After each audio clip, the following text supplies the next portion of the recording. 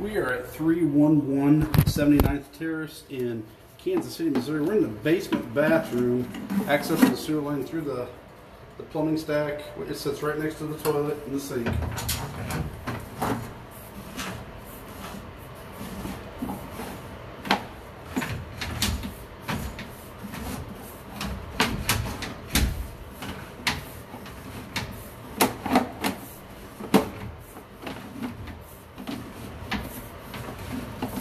Sewage water here. Hopefully we'll come out of it pretty quick. Here we go.